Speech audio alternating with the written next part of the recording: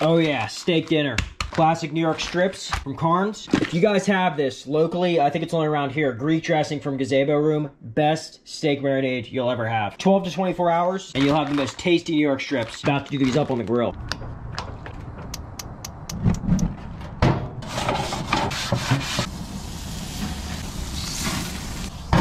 Got the Craftsman snowblower all prepped for winter. Just did the rotation. Push mower in the back. This is going up front.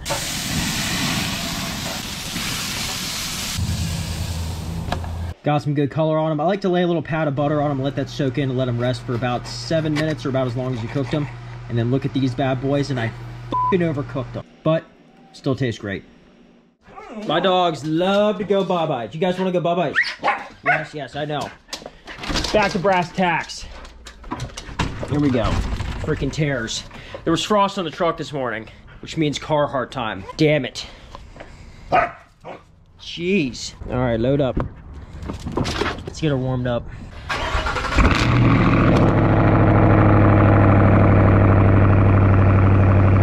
I'm not excited about the cold, but one thing I am super excited for is the snow. The ability to go out and help people that are stranded, like we did in this video. Oh, look at that. That's Yes. dope. Oh, yeah. It's looking good. This is working good. Yeah. Uh, Oh my God. Oh my God, what is that? Stuff like that is so much fun. Plus, it's gratifying because you're helping people out that are having one of the worst days ever. Really looking forward to the snow. I don't think I mentioned this before. This entire driveway, the entire thing, used to look like this. And it looks way darker in person. But I did this entire driveway by myself all the way up there with that drafts tools thing I showed you guys, the power washer, and like a $40 Ryobi part. That was it. And it did this entire thing. Yeah, very cool. We also, this is a Mercedes under here. I don't know if I ever showed this to you guys, but uh, yeah, this thing's pretty cool. Back in the day, it was always my dream to get that thing fired up and running to uh, be my whip to high school. But uh, we all know what happened with my first car. Oh my God!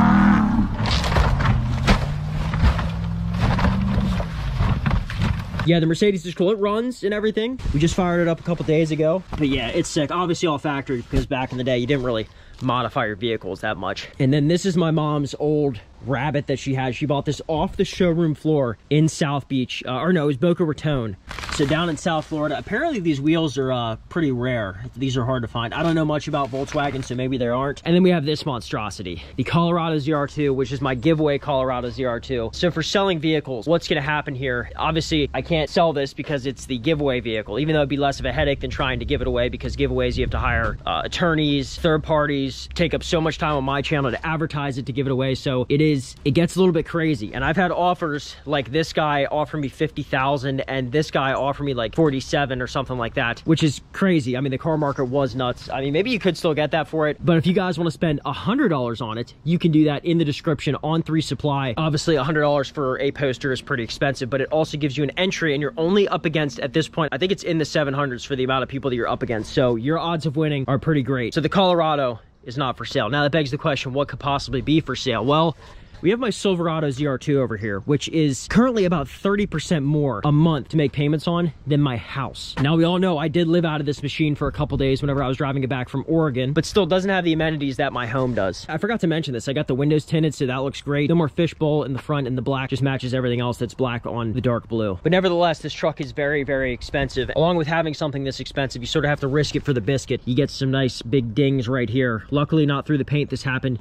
in the video where I let my wife off-road my truck. Ironically, I was the one that caused that dent while we were off-roading. So if you guys haven't seen that video, make sure you check it out. It was pretty intense off-roading for the Silverado ZR2. Also a dent down here, and unfortunately, this thing gets chewed up. Those are all paint chips. These are all paint chips back here, and it's supposed to be like not bed lined, but like this is definitely a more aggressive paint. They they lay it on thick here, so it's it's more protected. And this side, unfortunately, is even worse. Big, massive paint chips. I, you know, it's not through to the metal because it, it would have rusted by now, but at least to the primer. And that really just sucks. And that's the entire way down the side. And that happens from having bigger tires like this. These are only 35s, but they're pretty chunky 35s. And while we're out in Colorado, really kicked up some big rocks and just destroyed the side of this truck. Now, wrapping a truck is very, very expensive. Everyone asks me like, how much to go get my truck wrapped? How much to do this? How much? At this point, it's probably almost $4,000 to get your truck, especially a full-size truck like this, fully wrapped. with like a nice design, not just a flat color. But at this point, it has me wondering like, would it have been more financially beneficial to have wrapped the truck from the get could have made a video about it, possibly upsetted the neighbors, and it would have protected the paint. At the end of the day, this beautiful paint is definitely taking a beating, and if I wanted to wrap it now, I could stop the bleeding, uh, but the damage is done in a lot of parts. So something to think about. But even with all its flaws, even though the majority of them are my fault and it sounds like I'm complaining, I'm, I really, I, I don't mean to be, I'm just pointing out facts. I'm still sticking with the Chevy Silverado ZR2. We're not chopping it just yet. I was reached out to by a company. I'd love to work together with them and they do wide bodies for Silverado 1500s, not the ZR2 just yet, but they're one of the only companies that I know of that are actively working to make wide body kits and a whole bunch of other parts for the Silverado ZR2. That was, it sort of sucks because I got this truck because it was like, you know what? It's a Chevy, it's a Silverado. It's not like the Colorado ZR2 where there's very little aftermarket support, unlike the Toyota Tacoma, where you can buy any aftermarket part you want for it. I was like, I'm in the money here with the Silverado ZR2 because everything is going to be transferable from a regular 1500 to my truck. That's not the case. Almost everything where you want an aftermarket part is different aside from like the drivetrain blackhawk flying over we live really close to Fort Indiantown Gap it's where i was stationed in the national guard and this is just a everyday thing blackhawks flying over pretty cool. So we're waiting. Aftermarket parts are on the way. So if we're not getting rid of the Silverado ZR2 and we're not getting rid of the Colorado ZR2, then what could I possibly be selling? This might upset some people, but it's just what needs to be done. I kind of need the money a little bit, and I'd love to throw that money back into the stars on the channel, like the Silverado. I'm gonna try and do this without the wind blocking me, but the Jeep Cherokee, we're out here at the farm. This is where this Jeep has been sitting for a while. I wanted to do a lot more with this project. Unfortunately, like I said,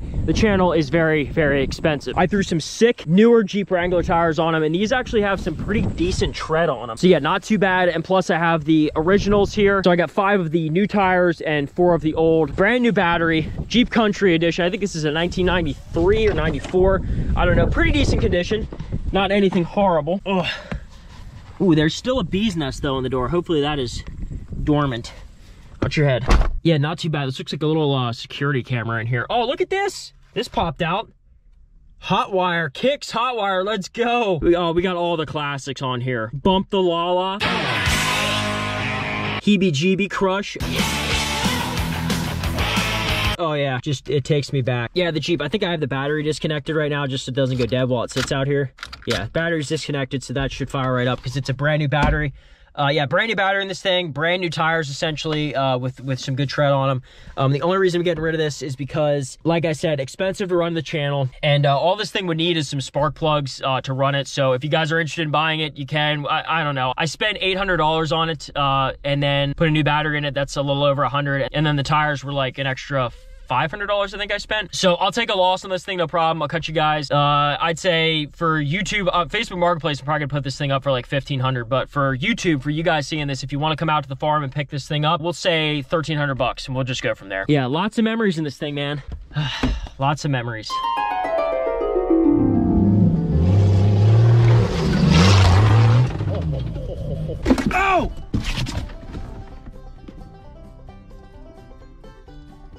The squirrel being in here still gives me nightmares. So yeah, the Jeep Cherokee leaving the fleet. It's unfortunate, but it has to happen. Uh, and we're gonna put some more money into the Silverado like I mentioned. It is so windy out here. I love you guys. Thank you so much for watching. InshaneDesigns.com right now. Dual giveaway GT500, the orange Halloween edition.